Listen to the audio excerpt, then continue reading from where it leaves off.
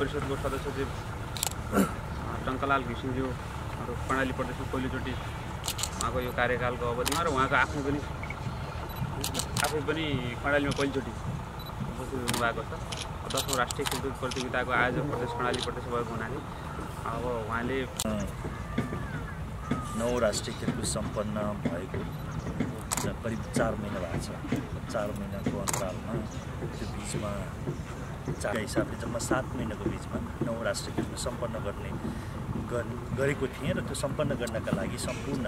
प्रदेश र विभाग सबैले उत्तिकै सहभागिता सक्रियतापूर्वक जनाएको थियो। के भइरहेको छ कसरी चाहिँ अरू पूर्वाधारको कामहरू हुन्छ अनि तपाईँले के पहल गरिराख्नु भएको छ? यो खेल त्यसमाथि पनि अहिलेको खेलकुद अहिले जे जुन तरिकाबाट भइराखेको छ यो सङ्घीय संरचना पछाडिको खेलकुद हो। सुरज कुमार सिंह राष्ट्रिय संसद समिति प्रणाली प्रदेश प्रमुख खगेन्द्र बल्ल लाइका कफी